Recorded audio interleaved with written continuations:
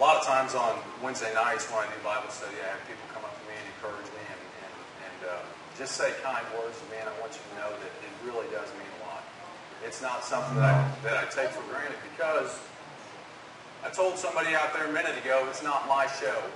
This is about Jesus Christ and Him alone. And when I come in here and when I stand up here, I take very seriously um, the assignment that God has for me. And so when Howie asked me to, I, you know, I got a little bit nervous right off the bat because Sunday morning is typically a lot bigger crowd than, than Wednesday night. The second service always is so. And I've always been a little bit nervous about speaking in front of people. But when God calls you to do something, you don't have a choice. You can run, but Jonah found out you can't hide. Amen. And, and the fact of the matter is, I've been apprehended, so I don't have a choice. I, I feel like Paul when he said, "The Lord, they, you know, no matter what He's got to do, He's going to find you. If you've been chosen for His work, He'll find you wherever you are." So this morning, um, we're going to talk about something that Howie had mentioned to me um, a few, a couple weeks ago, and over the past week, I've learned a lot about it. And I want you to know that. Um, like I said a minute ago, I take very seriously this. This is Sunday morning, guys. This is your time. This is a day when the world sleeps in. But this is a day when the people of God keep the Sabbath day holy. This is a day that, that they come to church to give to God the first fruits of their day and the first fruits of their week. And so this is a, a, a big challenge and a big responsibility. When I hear how Howie talk about how a pastor or a, a leader had talked about the sheep being dumb, the guy's got it all wrong. I want to tell you in Ezekiel chapter, uh, I wrote it down here. Ezekiel chapter 34, the Lord had a, uh, he had a conversation with the shepherds of Israel. And he talked about how you've not fed my people. Huh. And so the responsibility on the ministry is this. God says the welfare of the sheep, I will require at your hands. Woo. Pastors, preachers, teachers, leaders, the fact of the matter is everybody you see from wall to wall God is going to require in your hands, what have you done to feed the sheep? What have you done to nourish the sheep? And so we owe, we owe the people of God, and I'm just talking to leadership right now, and myself, I owe the people of God more than a microwave message when I come up here. Amen. I owe the people of God the Word of God for Impact Life Church in Joplin, Missouri. Amen. That's what you're owed when you come in here. Woo. And you should expect nothing less than that when somebody walks to this pulpit. They don't walk to the pulpit with just a motivating speech. That doesn't change anybody's life. That's right. The Word of God will change your life. And so it's important as pastors that we hear what the Lord says so we can give it to the people. And I think that we have uh, pastors and leaders in this church that have that same heart. And that's how seriously I take it, and that's the responsibility that I'm given, is to feed the sheep of God. Jesus told Peter, he said, if you love me, three times he told him this. Now, Peter had just denied the Lord three times not long before. And Peter said, You know, Lord, you know my heart, you know all things, and you know that I love you. And the final words that Jesus left him with out of that conversation were to feed my sheep. That's right. You love the people of God, you love Jesus. You don't love the people of God, you don't know Jesus. That's the truth. And that's and, and, you know, I know we've only got a few leaders here today, and, and I challenge myself with that, but every leader in Joplin and every leader in the body of Christ everywhere needs to hear that message because it's just that important. So my desire today is really to help you in your walk with God. And this subject really, guys, is um, pretty intense. And I've talked to several people over the last few days, people who are mentors, people who are elders in my life. And uh, I've talked to them and I've, I've, said, guys, is this too intense? Is this, um, I don't want to be harsh. I don't, I don't want people walking away feeling like they've been uh, beat down. So, and, and I've gotten the blessing from every one of them on this message. So I'm trusting that that it'll be well received because I've, I've prayed about it and I believe I have what God wants me to say today. So, Amen. with that being said, we're going to talk about spiritual authority today. And um, authority is not the most popular subject when you're talking about a world that's filled with sin, especially when you're talking about a God who's called us to come out of a life of sin. Authority is not a popular subject in really any realm today, and I, I, cringe to say this because there's so many so many things that go into this, but authority is not a popular subject in marriage. Authority is not popular in the home. Authority is not popular at work. Right. It's just not a popular subject. And yet every domain has established authority. That's right. City, state, federal, international.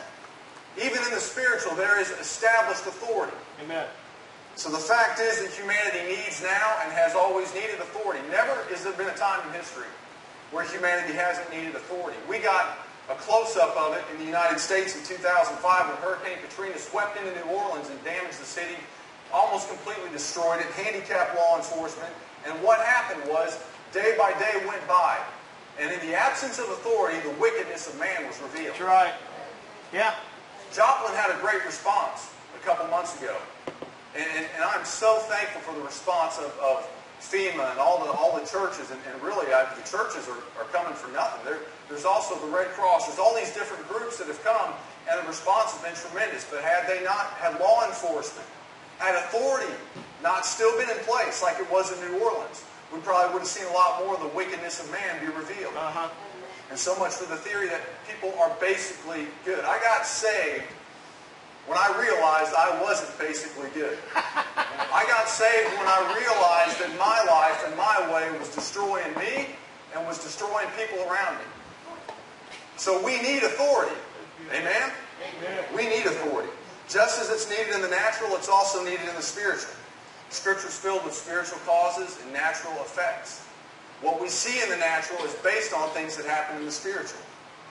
And so we need authority. The, the reason why it's so important is because submission to God's authority causes us to live an overcoming life. You show me someone that says, I will not obey and I will not submit, I'll show you someone that will never live for Jesus Christ. And in the moment that they say that, they have denied Him. And I'll, and I'll tell you why in a minute. Submission to God's authority is what will cause us to live an empowering life. Amen. We're going to talk about that. Well, you have to you have to hear the whole thing to get the full scope of this because uh, number one, we're called to deny ourselves. So that's the first thing we got to do. But then the life of blessing comes after that. So I want to talk just for a little bit about our government in the United States, how we work. In the U.S., we have a system of government called democracy. Democracy is defined by Wikipedia as a form of government where all eligible people have equal say in the decision-making process.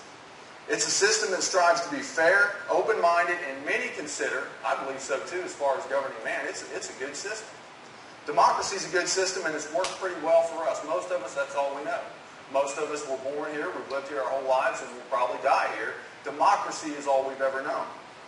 But I want to go back to basic Christianity and talk because what we've been called into is not a democracy. Amen. I got one amen out of that. What we've been called into, I heard one preacher say, if you can't give me a Pentecostal amen, give me a Methodist nod. I'm the same way. I'm, I'm not a real vocal person. Somebody like, like Josh calls it out of me. I, somebody calls it out of me, I'll be vocal, I'll be loud. But it, the rest of the time, I'm pretty quiet. But what we've been called into is not a democracy. That's right. There's people acting like, and I see this all the time, guys. You guys see it too. People act like the democracy is what blessed this country. Wrong. God blessed our democracy. That's where the blessing comes from. Not from the democracy. Democracy has failed in many other parts of the world.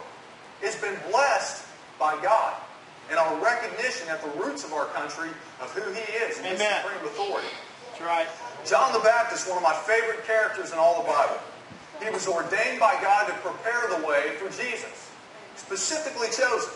This was his assignment.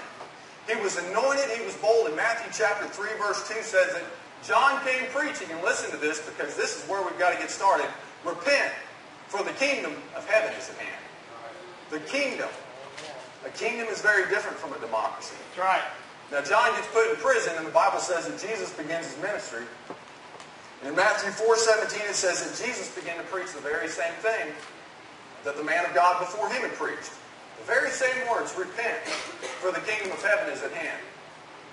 So, do we hear repentance that often in church today? I mean, this church we do. We hear about repentance, but I mean the church in general.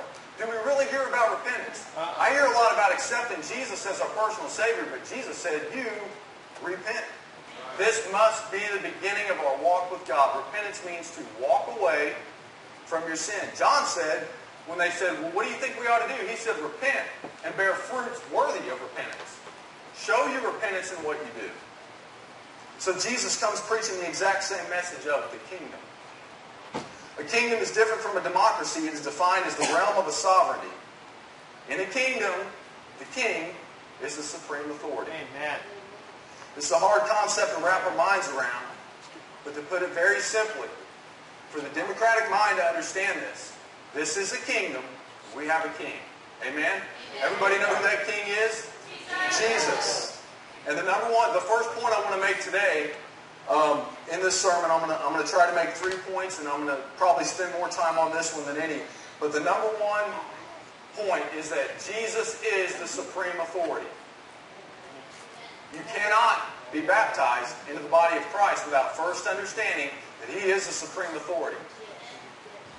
The Bible says in Matthew chapter 28, 18, you guys, all right, and Jesus came and spoke to them saying, all authority. Now I want you to understand this because in society today, and I'll challenge you to, to, to go home and, and look at this and tell me if there's been a watered down version of who Jesus is. Jesus is my homeboy. Jesus is my friend. Jesus is my friend. He is. He's my Father. Amen. But at the same time, He's my Lord and He's my God. And in Matthew chapter 28, Jesus spoke of this Himself. He said, All authority, listen guys, in heaven, all authority in heaven and on earth has been given to me. It's good. Philippians chapter 2, verses 8 through 11. Let's get the Apostle Paul's perspective on this. Let's see what this man of God said about Jesus. Jesus has said it about himself. Now what's Paul say? Philippians 2, 8 through 11, and being found in appearance as a man, he humbled himself and became obedient to the point of death, even the death of the cross. Therefore God has highly exalted him and given him the name which is above every name. That at the name of Jesus, listen to this, guys. This is ultimate authority being declared by the man of God. That at the name of Jesus, every knee should bow. In heaven, in earth, and under the earth. And that every tongue should confess that Jesus Christ is Lord to the glory of God the Father. The church today desperately needs a revelation of this concept. And remember, this is the first point. It's going to be a, progression, but we've got to get the first point down. And we desperately need a revelation of this. Thomas said, he fell at the feet of Jesus and he said, My Lord and my God. Yes. Glory to God. He didn't just say my Savior. He didn't just say my friend. That word Lord means several different things. It could mean sir if you were talking to a normal person. But in Jesus, I, I looked it up, and here's, here's the definition of the Greek dictionary from the Strong's Concordance. It, it has two words in it that stood out to me master and controller. That's what Jesus came to be. And that's what we've got to understand about this, this kingdom concept is that he is the king. I was watching uh, CNN a while back, and they had a panel on there, and they were uh, discussing an issue in society, a social issue. And, uh, and, and I believe in, in loving everybody, and Jesus taught us that. He taught us to love everyone, regardless of what their lifestyle or whatever. Jesus loved us while we were still sinners. So we can love others while they're still sinners. Amen?